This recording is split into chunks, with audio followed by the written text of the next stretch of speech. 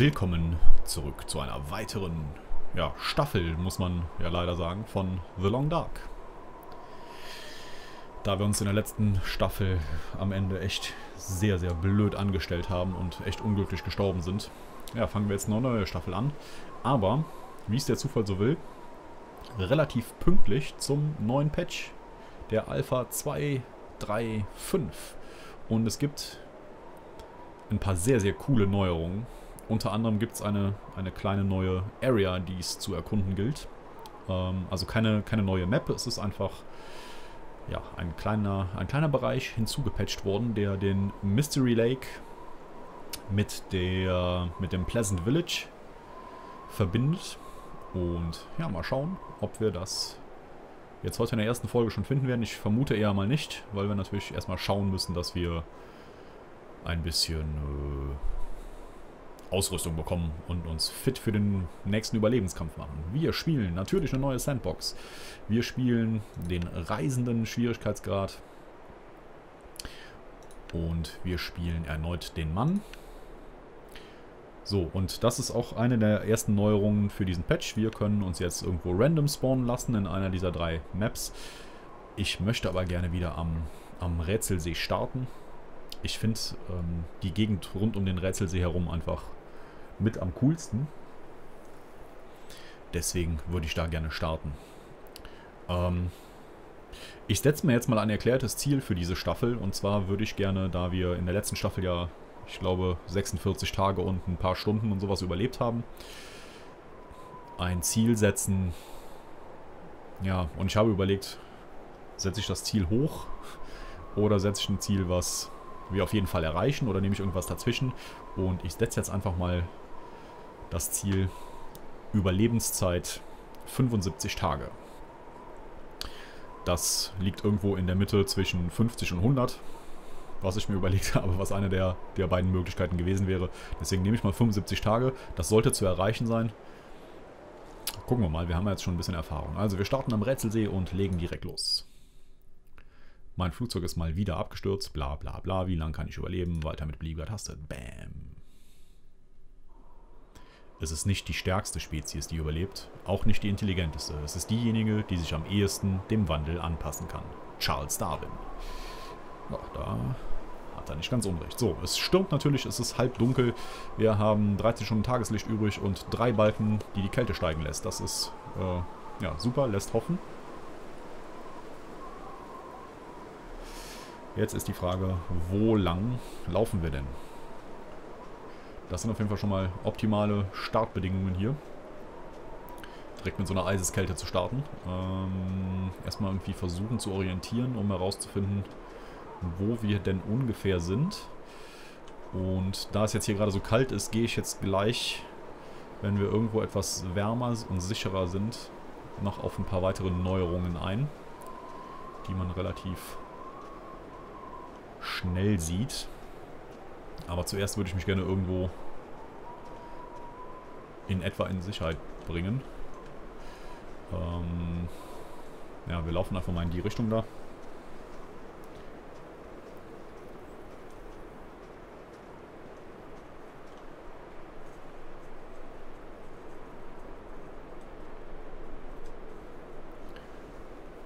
Tja. Also ich bin immer noch nicht so ganz orientiert hier. habe gerade noch keine Ahnung, wo wir sind. Aber die Mystery Lake Map, die kennen wir jetzt schon ein bisschen. Da haben wir ja in der letzten Staffel relativ viel Zeit gegen Ende auch verbracht. Allein weil wir ein bisschen nach Bunkern gesucht haben und so. Deshalb sollten wir hier relativ schnell wissen, wo wir denn hier sind. Und ich hoffe mal, dass der erste Wolf relativ lange auf sich warten lässt.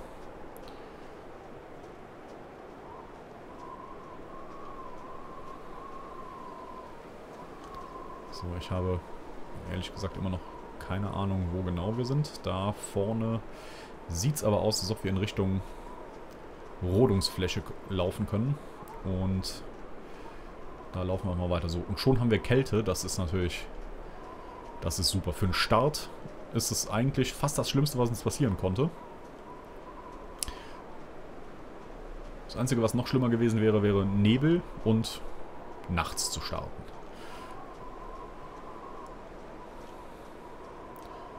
So, wir laufen hier mal weiter. Wir werden jetzt relativ zügig den Status unterkühlt bekommen. Da ist er auch schon. Herzlich willkommen, lieber Status unterkühlt. Und wir sind beim toten Holz. Soweit kennen wir das ja hier schon. Und ja, schon, schon sind wir in der ersten Folge der neuen Staffel.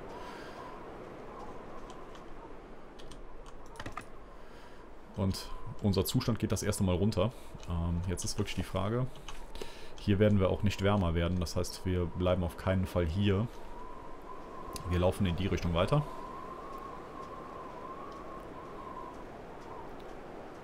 Immerhin haben wir schon mal Holz gefunden. Ähm, okay, ich kann ja mal auf eine Neuerung ähm, eingehen, die jetzt den Spielfluss gerade auch nicht so sehr stört. Es wurde ein Umstieg von DirectX 9 auf DirectX 11 vollzogen mit diesem Update. Ähm ich weiß nicht so ganz genau, ob das grafisch wirklich irgendwas bringt, ob das performance-technisch irgendwas bringt, weil ich auch ehrlicherweise sagen muss, dass ich damit bisher nie Probleme hatte. Performance-technisch war das Spiel immer 1A. So, und ich glaube, ich weiß jetzt, wo wir in etwa sind. Wir müssten ja jetzt eigentlich zu den Schienen kommen. Und ich meine, da vorne wäre auch quasi schon das Lagerbüro. Jawohl. So, wir sollten vielleicht mal ein bisschen auf Wölfe achten. Weil wir haben noch nichts, womit wir uns irgendwie verteidigen können. Ähm, ja, also, wie gesagt, DirectX 11, keine Ahnung, was und ob es überhaupt irgendwas bringt. Ähm, vielleicht stellen wir irgendwas fest, während wir spielen, aber so insgesamt, glaube ich, bleibt vieles davon einfach unbeeinflusst oder man nimmt es nicht bewusst wahr. Ähm, die Leiche, die da hinten liegt, da werden wir uns erstmal nicht drum kümmern. Ich möchte nämlich erstmal gerne den Unterkühlstatus wegbekommen. Und das machen wir doch hier. Das ist die Flagge, ne? Mann, Mann, Mann, Mann, Mann. So, dann gehen wir jetzt hier mal rein. Ähm, wir haben außer Holz noch nichts eingesammelt. Dann äh, würde ich sagen, komme ich direkt mal zur nächsten Neuerung. Da wir uns jetzt in Sicherheit und im Warmen befinden. Ähm, es ist jetzt ab sofort random, was man beim Start alles dabei hat. Ähm, das war ja vorher immer so dass man ähm, ja eigentlich so ein, festes Inventar zum Start hat. Und man sieht jetzt hier schon zum Beispiel Angelzeug. Das hatte man vorher nicht. Nähzeug hatte man vorher nicht. Ähm, also das ist, im Prinzip ist es alles random. Man, ich bin mir nicht sicher, aber ich glaube, man könnte auch Glück haben, dass man mit einer Waffe startet. Und wenn ich das richtig verstanden habe, ist es auch so, dass man auf den Maps jetzt, ähm, wenn man neu, ein neues Spiel anfängt, durchaus auch in einem Haus starten könnte. Gut, das Glück hatten wir jetzt leider nicht, aber so schlimm ist es nicht. Wir haben das Lagerbüro gefunden und jetzt würde ich sagen, machen wir uns hier mal ans Einsammeln der Sachen an. So, eine Schnür nehmen wir mit. Ähm, ja, zu der Werkbank kann ich euch auch noch ein bisschen was erzählen. Ähm, weil, was man auch eingeführt hat, wir haben jetzt die Möglichkeit, uns Pfeil und Bogen zu craften. Ich habe das selbst noch nicht gesehen, werde aber hier mal gucken. Das müsste ja hier in der Werkbank sein. Haken, Schnur, Angelzeug, das kannten wir alles schon. Rehlederstiefel, Rehlederhose, das ist auch neu. Sehr, sehr cool.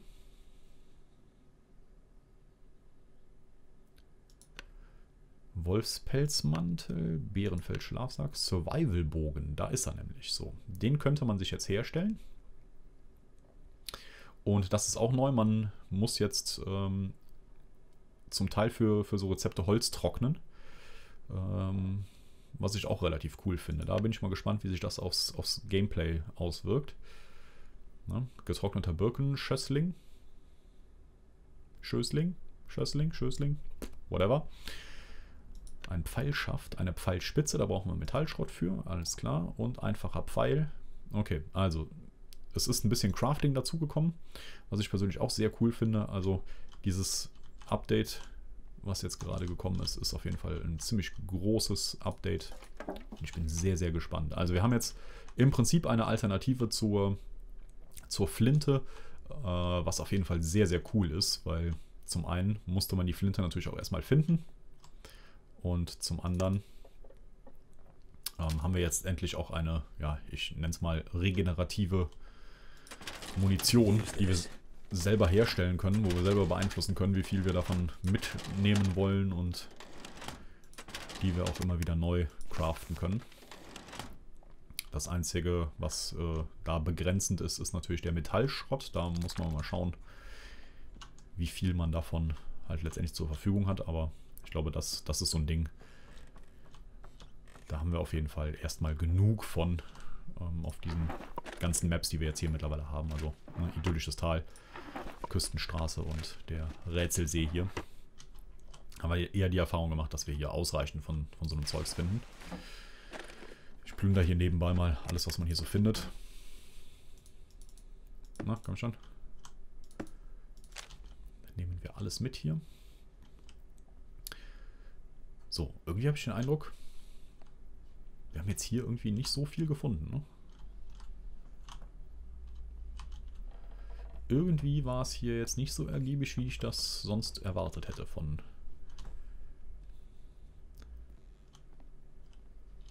dem Lagerbüro.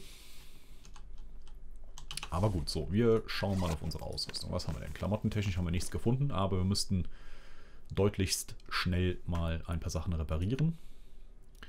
Ja klar, hier haben wir natürlich ein bisschen Zeugs gefunden. Wir haben auf jeden Fall Nahrung genug. Und ich würde sagen, wir werden jetzt mal den einen Schlafsack zerlegen, den wir gerade gefunden haben.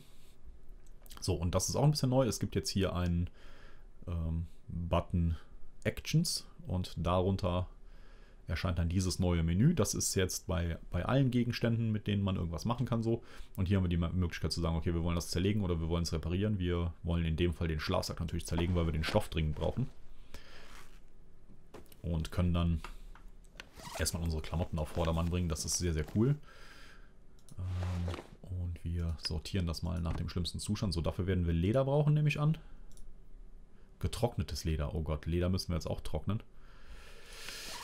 Gut, getrocknetes Leder haben wir natürlich nicht. Wir reparieren daher mal die Hose. So, ich kann hier aber kein Nähset jetzt mehr auswählen. Ich vermute mal, dass das automatisch ausgewählt wird.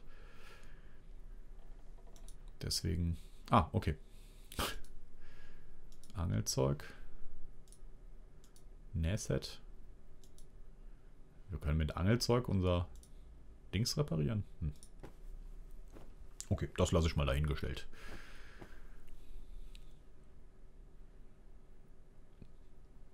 Reparaturfertigkeit auf 61 erhöht. Okay, das muss ich jetzt sagen, gefällt mir jetzt in der Tat nicht mehr so gut. Weil wir jetzt in dieser Ansicht jetzt nicht mehr sehen, wie dann der Zustand des entsprechenden Items ist. Also Reparaturumfang 30%, das heißt, wir wären bei 88%, das machen wir auch nochmal.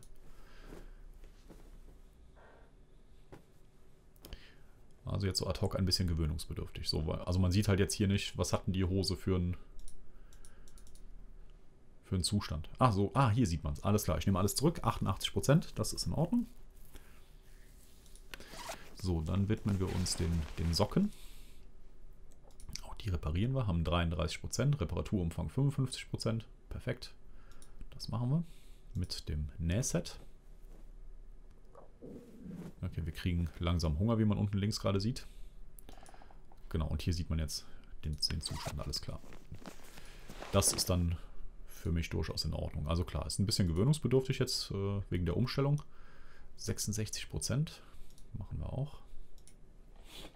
Ähm, aber jetzt nicht wirklich, wirklich schlimm. Ist halt eine Änderung, mit der man sich erstmal arrangieren muss. So, die hat 100%, deswegen haben wir jetzt auch keinen Reparieren ähm, Menüknopf mehr.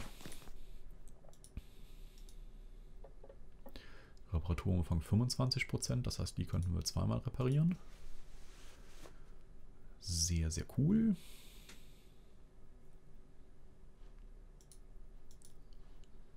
Jawohl, das machen wir auch. So, wir sind durstig auch jetzt. Das heißt, so langsam sollten wir uns eventuell mal um uns selber kümmern.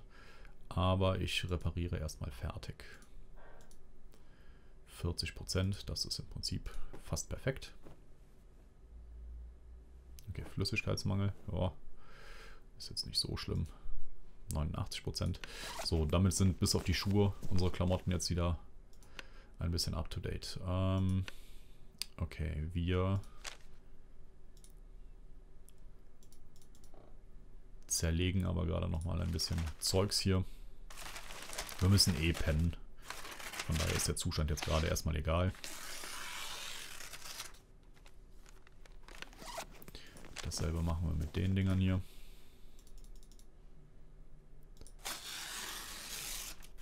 Und dann müssen wir uns gleich als erstes auch mal äh, direkt ein bisschen Wasser kochen.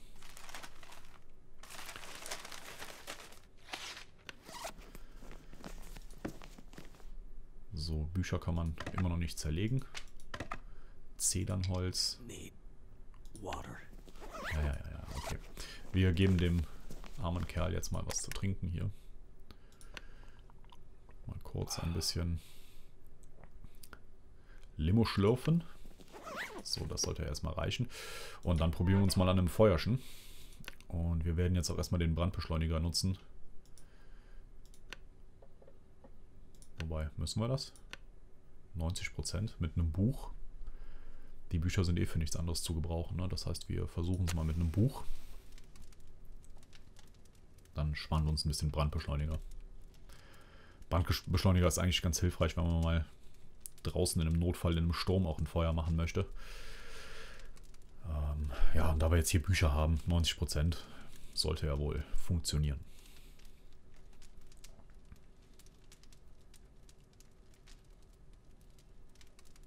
Mal, das sieht doch sehr, sehr gut aus. So, und dann würde ich sagen, schmeißen wir das Altholz in erster Linie da mal rein. Und schmelzen uns jetzt erstmal ein bisschen, ein bisschen Wasser. 40 Minuten, da kommen wir. Wir schmeißen das Zedernholz auch noch rein. Und schmelzen dann mal 5 Liter Wasser.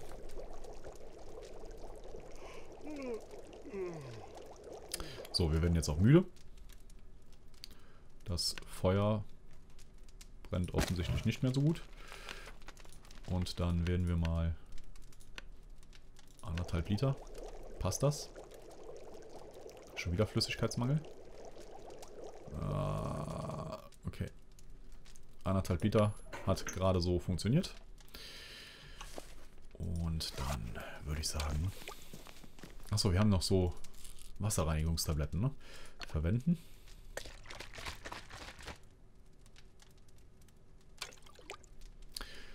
So. Und schon mal zweieinhalb Liter. Dann werden wir gerade mal was trinken. Perfekt.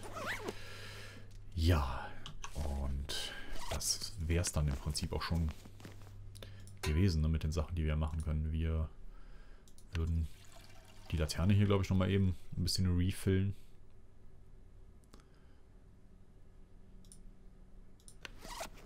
So, damit hätten wir auch das Lampenöl schon verbraucht. Ja, und viel mehr können wir jetzt auch schon nicht machen. Ne? Das bedeutet, ähm, wir brauchen in naher Zukunft auf jeden Fall noch ein bisschen mehr zu essen. So viel haben wir nämlich nicht. Wie viel Tageslicht haben wir denn noch? Zwei Stunden nur noch. Ähm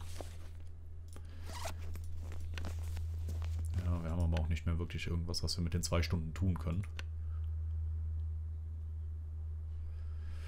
Wir werden auf jeden Fall das ähm, unsaubere Wasser hier mal rauslagern. Und den Rest behalten wir mal.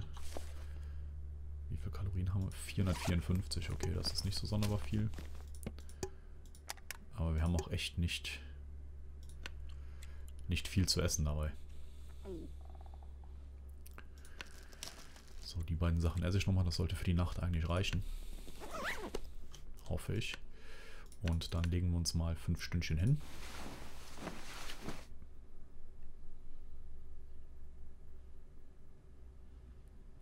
Bam, bam, bam, bam, badam, bam, bam, bam, bam, bam.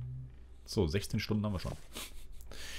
So, wir haben natürlich wieder, äh, wieder Durst. Das äh, beseitigen wir auch gerade mal. Verhungern werden wir jetzt vermutlich über Nacht nicht. Ja, man weiß es nicht.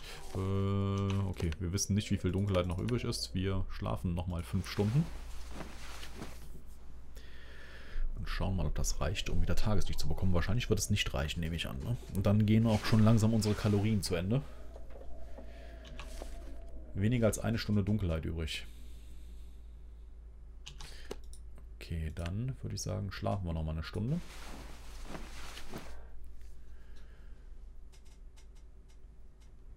15 Stunden Tageslicht übrig. Sehr schön. Ähm, okay. Und dann haben wir ja eine Menge Durst, eine Menge Hunger. Und ich würde sagen, wir trinken mal die Limonade.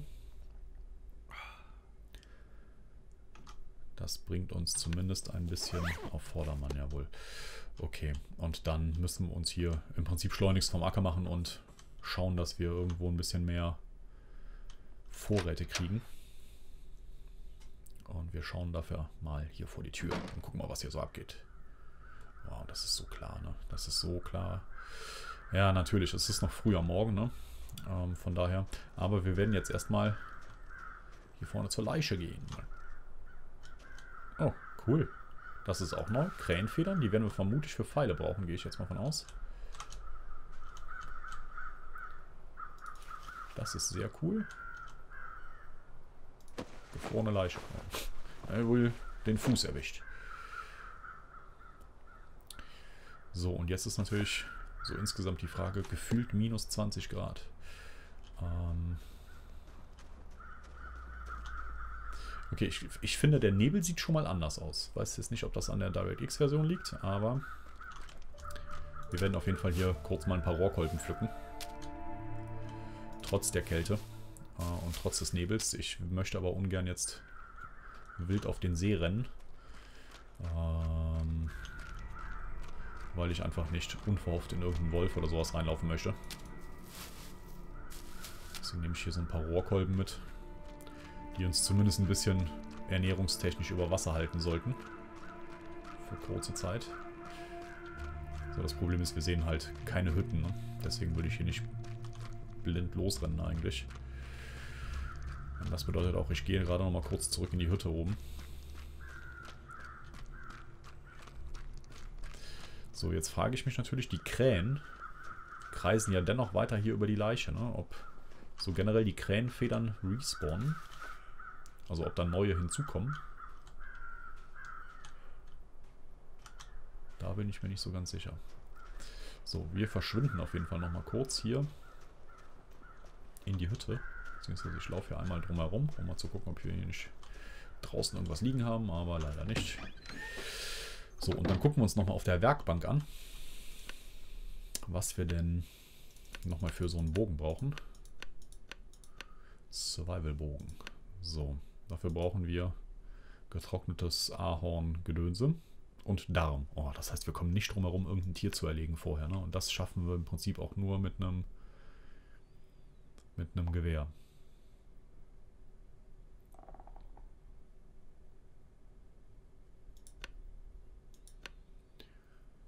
Okay, also wir haben auf jeden Fall schon mal, schon mal Federn. Das ist auf jeden Fall schon mal nicht, nicht ganz so uncool.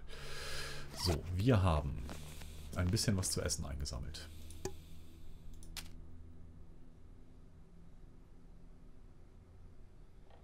So, wir haben noch keinen Dosenöffner, deswegen würde ich die jetzt gerade noch nicht essen.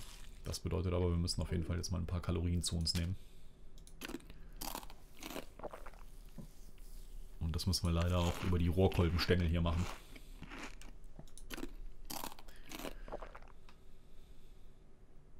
Und dann direkt noch mal ein bisschen Wasser hinterher.